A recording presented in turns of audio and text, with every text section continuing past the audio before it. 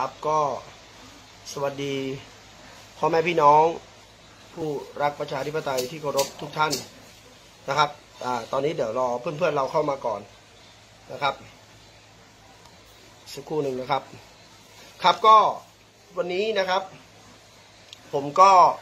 ได้ฉันทามติแล้วก็ประชุมเป็นที่เรียบร้อยนะครับ ขอฝากพี่น้องช่วยกัน แชร์ ช่วยกันไลฟ์แล้วก็ช่วยกันแจ้งข่าวไปยังพี่น้องประชาชนที่อยู่ในแถบกรุงเทพปริมณฑลให้ทราบโดยพร้อมเพียงกัน ก่อนที่จะมีการชัดดาวเอ่อเขาเรียกอะไรนะล็อกดาวน์กรุงเทพมหานครและปริมณฑลเร็วๆนี้นะครับ ในวันพรุ่งนี้เรามีนัดกันนะครับที่บริเวณสถานีรถไฟ MRT กระทรวงสาธารณสุข วันพรุ่งนี้กิจกรรมของเรา รับรองนะครับ ตื่นเต้นแน่นอนนะครับ มีเพื่อนของเราเข้าร่วมการปราศัย แล้วก็มีพิธีกรรมต่างๆ ที่จะจัดบริเวณในกระทรวงสาธารณสุข วันพรุ่งนี้นะครับเราจะนัดพบกันที่บริเวณสถานีรถไฟ MRT สถานีกระทรวงสาธารณสุข ในเวลาบ่ายสองโมงตรง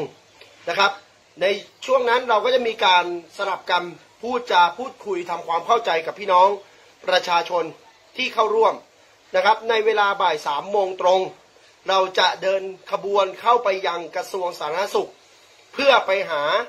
รัฐมนตรีว่าการกระทรวงสาธารณสุขก็คือนายอนุทินชาญวีรกุล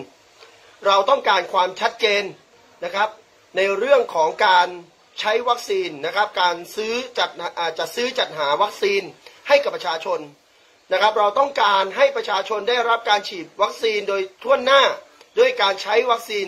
ยี่ห้อไฟเซอร์ หรือยี่ห้ออื่นที่ไม่ใช่วัคซีน ยี่ห้อซีโนแวคนะครับ วันพรุ่งนี้อย่าลืมนะครับ ขอเชิญชวนพี่น้องนะครับ ผู้รักประชาธิปไตย และผู้ร่วมชะตากรรมทุกท่านนะครับ ไปรวมตัวกันที่กระทรวงสาธารณสุขนะครับ ผมนะครับชินวัตรจังกระจ่าง ตี้วันวรี ธรรมสัตยา และเพื่อนๆของเราอีกหลายคน จะไปรวมตัวกันที่นั่นนะครับ และเราจะมีกิจกรรมทวงคืนวัคซีนของประชาชน ทวงคืนภาษีของประชาชนนะครับ ถ้าพี่น้องที่อยู่แถบกรุงเทพปริมณฑลนะฮะอยู่แถวแถวจังหวัดนนทบุรี กระทรวงสาธารณสุขเนี่ยอยู่ในเขตพื้นที่จังหวัดนนทบุรีนะครับอยู่ในเขตพื้นที่จังหวัดนนทบุรี ก็คือบริเวณถนนติวานนท์นะครับ ถนนติวานนท์อ่า ก่อนอื่นเราจะไปรวมตัวกันที่บริเวณนะครับบริเวณสถานีรถไฟ MRT สถานีสาธารณสุข ถ้าพี่น้องพร้อมวันพรุ่งนี้บ่ายสองคือการเรียกน้ำย่อยก่อนเข้าสู่วันเสาร์แบบเบิ่มๆนะครับ พี่น้องบางท่านนะครับจะมาจากต่างจังหวัดนะครับ เพื่อที่จะมาร่วมกิจกรรมวันที่ 18 นะครับ วันพรุ่งนี้ให้มารวมตัวกันที่ MRT สถาสถานีกระทรวงสาธารณสุข เวลาบ่ายสองโมงตรง เราจะรวมพลกันที่นั่น เสร็จแล้วบ่ายสามโมงตรง เราจะเคลื่อนขบวนเข้าไปยังบริเวณหน้ากระทรวงสาธารณสุข เพื่อพบนายอนุทินชาญวีรกุลนะครับ จะดูท่าทีเขาซินะครับว่าเขาจะเอาอยัางไงฮะเพราะว่าณเวลานี้ประชาชนบาดเจ็บล้มตายนะครับ ผมเชื่อว่าตั้งแต่คืนนี้ นะครับควบคุมฝูงชนคงจะมาเยอะมาก ถ้าพี่น้องปล่อยให้พวกเราจำนวน 50 60 70 คน จะต้องมาถูกควบคุมฝูงชนทำร้ายก็แล้วแต่ท่านนะครับ ขอประกาศณตรงนี้พี่น้องที่จะเข้าร่วมกิจกรรมในวันพรุ่งนี้ ควรที่จะใส่แมสมาด้วยนะครับ ต้องใส่แมสมาเท่านั้นนะฮะใส่แมสป้องกันโรคมาด้วย แล้วถ้ามีแอลกอฮอล์ก็สามารถพกติดตัวมาด้วยก็ได้นะครับ สวัสดีนะครับ พี่ๆทุกคนสวัสดีทุกท่านนะครับ ที่เข้ามาทักทายกัน ถ้าคนเยอะอาจมีฝ่าด่านครับผมพรุ่งนี้เขากั้นไม่ให้เราเข้าแน่นะครับ เมื่อวานนี้เป็นกิจกรรมของน้องๆ กลุ่มไพ่พลนะครับ วันพรุ่งนี้ของจริงนะครับ บุกแน่นอนนะครับ ไม่มีใครมาขวางเราได้อ่าขอเชิญนะครับ พี่น้องวันพรุ่งนี้เวลาบ่ายสองโมงตรง พบกันที่สถานีรถไฟ MRT กระทรวงสาธารณสุข เวลาบ่ายสามโมงเราจะเคลื่อนขบวนจากด้านหน้ากระทรวงเข้าไปในกระทรวง เพื่อยื่นหนังสือนะครับ และมีการพูดจาปราศัยนะครับโจมตรีเกี่ยวกับการบริหารงานของรัฐมนตรีว่าการกระทรวงสาธารณสุขนะครับ ยันให้จบรู้เรื่องเลยไหมโอเคครับ ก็อยู่ที่พี่น้องฮะสวัสดีน้องใบเอาขบวนมอเตอร์ไซค์ ดีครับ ถ้ามีมามาร่วมกันนะครับ ขอให้มากันเยอะๆผมจะดูสิครับว่า เวลาเราเรียกกันมาเนี่ย พี่น้องจะให้ความร่วมมือขนาดไหน ขึ้นอยู่กับพี่น้องประชาชน วันพรุ่งนี้คือวันเรียกน้ำย่อยก่อนถึงของจริงวันที่ 18 นะครับ ไม่ไหววัคซีนโอเค ใช่ครับ วันนี้เราต้องออกมาเรียกร้องร่วมกันนะครับ ดีกว่าเรายอมตายอยู่อย่างนี้นะครับ โดยที่ไม่มีอะไรเลย เอาสู้กันสู้กันแบบว่าเอาไปตายกันอีดาบหน้า นะครับเพื่อลุ้นเพื่อจะได้วัคซีนที่ดีมาใช้ให้ประชาชนได้ใช้นะครับไม่ว่าจะเป็นเรื่องการเยียวยาของประชาชนที่เดือดร้อนตกระกรรมลำบากอยู่ณเวลานี้ เอาละครับ วันนี้ผมขอหลังจากจบไลฟ์แล้ว ให้พี่น้องช่วยกันไลฟ์ช่วยกันแชร์ ไปเยอะๆ เพื่อให้พี่น้องที่อยู่ในเขตปริมณฑลมารวมตัวกันที่กระทรวงสาธารณสุข ไม่ว่าอะไรจะเกิดขึ้นกับผมนะครับ อาจจะมีเจ้าหน้าที่ตำรวจมาบล็อกตัวผมไม่ให้ผมออกวันพรุ่งนี้ ขอให้พี่น้องไปรวมตัวกันที่นั่นนะครับ เดี๋ยวน้องตี้แล้วก็เพื่อนๆเราจะรวมตัวรอกันอยู่ที่สถานีรถไฟ MRT กระทรวงสาธารณสุขนะครับ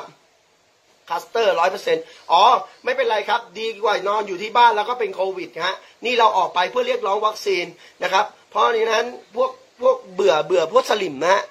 อาชีวะออกไปด้วยครับผม ก็ รู้สึกว่าจะมีกลุ่มอาชีวะปกป้องประชาธิปไตย และก็พี่น้องผู้รักประชาธิปไตยมาร่วมจำนวนจำนวนหนึ่งนะครับ ก็ขอเชิญชวนนะครับ ใครไม่มาไม่เป็นไร แต่อย่าทำตัวแบบโบราณเขาบอกครับ มือไม่พายเอาตีลาน้ำนะครับการอะไรกลุ่มกาดเองแนวหน้าครับผมมาช่วยกันนะครับ ร่วมด้วยช่วยกันนะครับศิลวัตรขำขำขำอีแล้วนะฮะใช่ใช่คนที่เข้ามาด่าเมื่อกี้ไหมฮะ ใช่คนเดียวกันหรือเปล่า ไม่ใช่นะฮะคนละคนโอเคครับขอโทษครับม็อบเลิกกี่โมงพรุ่งนี้ครับอ๋อพรุ่งนี้น่าจะประมาณทุ่มหนึ่งครับ คุณศิลวัตศิศิลวัตรนะครับนะครับ ก็ขอเชิญชวนพี่น้องฝากคนละหนึ่งไลฟ์หนึ่งแชร์ เพื่อส่งต่อบอกพี่น้องประชาชนที่จะออกมาร่วมกันในวันพรุ่งนี้ที่กระทรวงสาธารณสุขนะครับ ถ้าอนุทินไม่ออกมารับเราจะบุกเข้าไปในกระทรวง ให้มันรู้ไปเลยครับว่าไผเป็นไผ อย่าท้าทายอำนาจมืด อย่าท้าทายผมชินวัตรนะฮะผมทำได้หมด ถ้าผมอยากจะทำชีวิตนี้ผมพีให้มวลชนแล้วนะครับ ดูเอาเลยฮะสลิมเยอะครับไลฟ์นี้นะฮะเขาเริ่มมานะฮะที่ไหนนะครับมีการพูดจาปราศรัยของฝ่ายราษฎรนะฮะก็จะเจอพวกนี้นะฮะเดี๋ยวผมจะไล่บล็อกไม่หักพี่น้องนะครับ อย่าลืมนะครับ ส่งต่อแล้วก็ประกาศเดี๋ยวโปสเตอร์จะออกตามหลังมา นะครับเดี๋ยวโปสเตอร์ของผมจะออกตามหลังมาวันพรุ่งนี้นะครับ ก็อย่าลืมออกมาร่วมกันเยอะๆนะครับ ให้อบอุ่นใจหน่อยนะครับ วันพรุ่งนี้เวลาบ่ายสองโมงพบกันนะครับ พบกันที่สวัสดีจ้าน้องใบสุสุครับ ผมสวัสดีครับสวัสดีนะวันพรุ่งนี้บ่ายสองโมงพบกันที่สถานีรถไฟสาธารณสุขด้านหน้านะครับ เราจะไปรวมตัวตรงนั้น เดี๋ยวจะมีรถโมบายปราศัยอยู่ตรงนั้น เพื่อเรียกพี่น้องมวลชน ไม่ต้องห่วงน้ำดื่มมีพร้อมนะครับ น้ำดื่มอาหารการกินมีพร้อมนะอาหารดนอ่าเนี่ยอาหารดีดนตรีไพเราะไม่ต้องห่วงนะครับ ดนตรีก็มานะครับ เดี๋ยวผมชวนพี่อเล็กมาด้วยนะครับ มาเล่นดนตรีหน้ากระทรวงสาธารณสุขให้หมอดูหน่อยนะครับ ให้หมอหนูฟังหน่อยฮะหนูนี่มันหนูเน่าหรือหนูดีก็ไม่รู้นะฮะนี่ประชาชนลำบากนะครับ สู้ๆค่ะส่งใจไปช่วยนะครับ อย่าลืมนะพี่น้องออกมาร่วมด้วยช่วยกันนะครับ เวลาบ่ายสองโมงตรง พบกันที่สถานีรถไฟสาธารณสุขนะครับ หลังจากนั้นเวลาบ่ายสามโมงตรง เราจะเดินเท้าเข้าไปในกระทรวง ถ้ามีควบคุมฝูงชนตั้งบล็อกไม่ให้พวกเราเข้า เราจะฝ่ามันเข้าไปนะครับ เราจะฝ่าเข้าไปเพื่อพบอนุทิน วันพรุ่งนี้ใครมีพริกแห้ง ใครอยากจะสาบแช่งอะไร เอามาเจอกันที่สาธารณสุขได้เลยนะครับ มาร่วมกันสาบแช่งไอ้คนพวกนี้นะครับ ให้มันมีอันเป็นไปทั้งครอบครัวมันนะครับ เพราะมันทำให้ประชาชนต้องบาดเจ็บล้มตาย นะครับพี่วินัยโพธิสารสู้ๆครับผมเช่นกันครับออกมาด้วยนะครับ ออกมาร่วมกันนะครับ ชีวิตที่สิ้นหวังถูกต้องครับ ช่วยช่วยกันนะครับ ออกมาร่วมด้วยช่วยกัน โอเคครับ วันนี้ผมจะขอจบไลฟ์สดเพียงเท่านี้หลังจากจบไลฟ์สด ขอให้พี่น้องช่วยกันแชร์ออกไปเยอะๆแชร์ออกไปเยอะๆนะครับโอเคครับ ผมขอลาก่อนพรุ่งนี้เจอกันบ่ายสองโมงที่กระทรวงสาธารณสุขครับ สวัสดีครับ